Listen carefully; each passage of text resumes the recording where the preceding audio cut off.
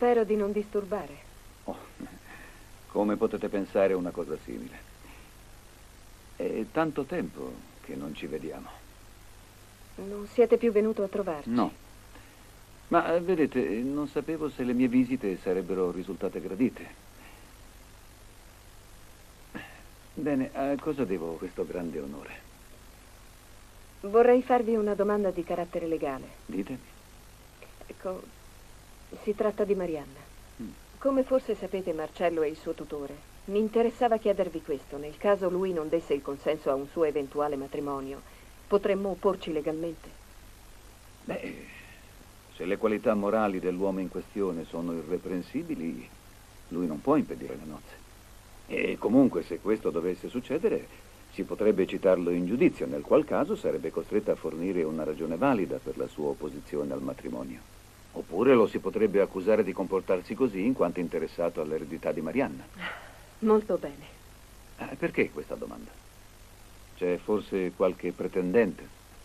Sì, Andrea Leardi. Davvero? Ah, ah. È strano, Marianna non mi ha mai parlato di lui. Vedete, lei non sa ancora niente di Andrea, è una cosa di cui abbiamo parlato io e Sofia. Ma pensate di imporre a vostra figlia questo matrimonio? Assolutamente no. Io desidero che lei sposi l'uomo di cui è innamorata e che anche lui la ami. Ma siete sicura che sia il marito adatto a Marianna? E non lo dico per Andrea, perché a prescindere da alcune cose che sono accadute, io, io sono convinto che è un bravo ragazzo. Però avete pensato a sua madre? Sofia con noi si è sempre mostrata molto amabile. Sicuramente perché aveva già previsto che Marianna avrebbe sposato suo figlio. Sofia è una persona molto pericolosa, è meschina, dispotica, è capace di qualsiasi bassezza. Non condivido la vostra opinione e se devo essere sincera non gradisco che si parli male di lei davanti a mia figlia. Ma se è lei la responsabile di quello che è accaduto a Kuan? Nessuno ha potuto dimostrarlo, neanche Marcello ci è riuscito.